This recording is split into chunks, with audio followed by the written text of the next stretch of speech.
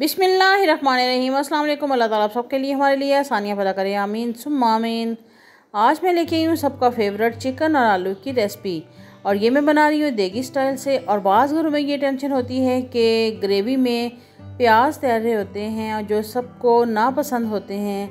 तो आज मैंने ये मसला भी हल कर दिया है। आप इस तरीके से अगर रेडी करते हैं तो आपको कहीं भी प्याज जो है वो साबुत सामने नज़र नहीं आएगा। बहुत स्मूथ सी इसकी ग्रेवी बनेगी और बहुत यमी ये बनेगा आलू गोश्त। तो आपने वीडियो को स्किप नहीं करना लास्ट तक देखना है। बहुत ज़बरदस्त, बहुत यमी सी ये रेसिपी होने वाली है। सबका फेवरेट होता है आलू गोश्त और हर घर में तकरीबन बनाया जाता है और सब ही शौक़ से खाते हैं। तो इस तरीके से अगर आप बनाएँगे तो आपका जो प्याज वाला मसला है वो भी हल हो जाएगा। तो बनाना स्टार्ट करते हैं। यहाँ पे मैंने ले ली है ऑयल तकरीबन हाफ़ कप के करीब, उसमें मैंने करी पत्ता डाल दिया था और एक दालचीनी का पीस भी डाल दिया था। और इसके अंदर फिर मैंने डाल दिया है दो से तीन अदद सब्ज़, इलायचियाँ। और इसमें फिर मैंने दो अदद लौंग डाल दिए थे।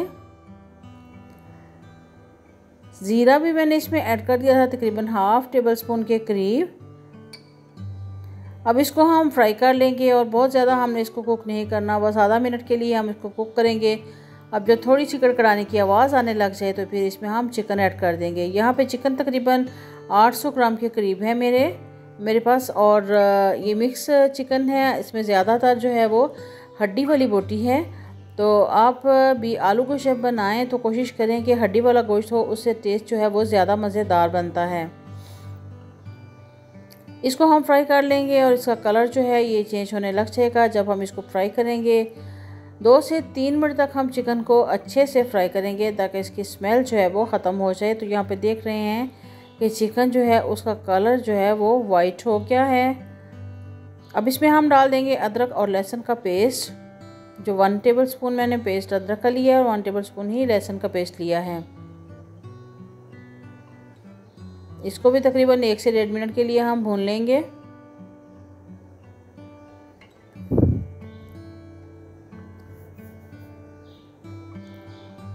अब इसमें हम ऐड करेंगे टमाटर और सब प्याज फ्राई की प्योरी। यहाँ पे मैंने प्याज एक अदद ले लिया था, उसको फ्राई कर लिया था और एक अदर टमाटर ले लिया था और इसको अच्छे से मैंने ब्लेंड कर लिया है। तो ये जो ब्लेंड किया हुआ मिक्सचर है, ये हम इसमें ऐड कर देते हैं। प्याज को आपने ब्राउन करके फिर ब्लेंड करना है तो इससे इसका टेस्ट बहुत मज़ेदार बनता है, बिल्कुल देगी स्टाइल में। मिक्स कर लेते हैं इसको और भून लेंगे डाल के इसको। अब इसमें कुछ स्पाइसेस ऐड करते हैं, जिसमें मैंने लाल मिर्च ले लिया है वन टेबल स्पून नमक ले लिया है वन टीस्पून और पिसा हुआ धनिया ले लिया है वन टेबल स्पून और हाफ़ टेबल स्पून इसमें मैंने हल्दी पाउडर ले लिया है। नमक आप अपने टेस्ट के अकॉर्डिंग कम या ज़्यादा भी कर सकते हैं। अब इसको डाल के हम अच्छे से भून लेंगे।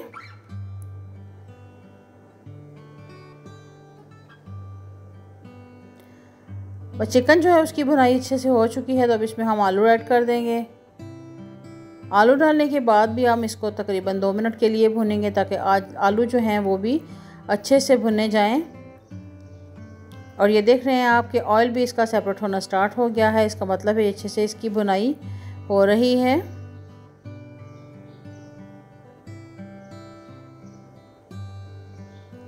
इसकी ग्रेवी देखें, मसाला इसका देखें कितना ज़बरदस्त अब इसमें मैंने हाफ़ कप के करीब दही ऐड कर दिया है।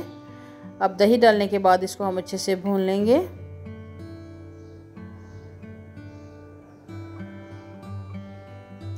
यकीन माने, ये इतना ज़बरदस्त, इतना मज़ेदार, बिल्कुल देगी स्टाइल में बनता है कि आप बनाएँगे तो आपको बहुत मज़ा आएगा।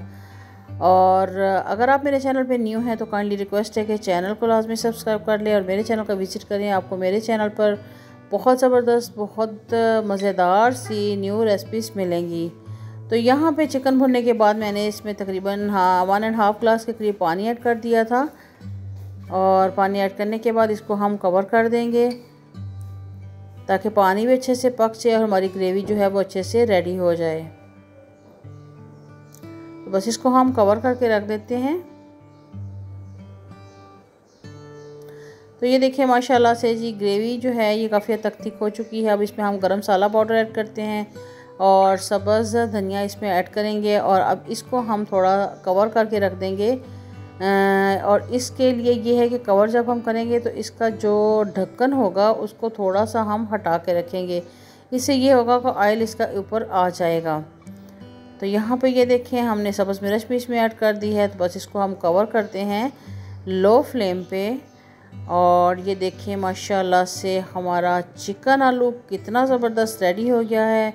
इसकी लुक देखें ऑयल इसका सेपरेट हो गया है और इतना यमी इतना मज़ेदार बना है कि आप इसको ज़रूर ट्राई कीजिएगा। इसकी ग्रेवी बहुत ज़बरदस्त बनी है, इसमें कहीं भी प्याज नज़र नहीं आ रहा और इसका लुक बहुत ज़बरदस्त है तो आप इसको ज़रूर ट्राई करना।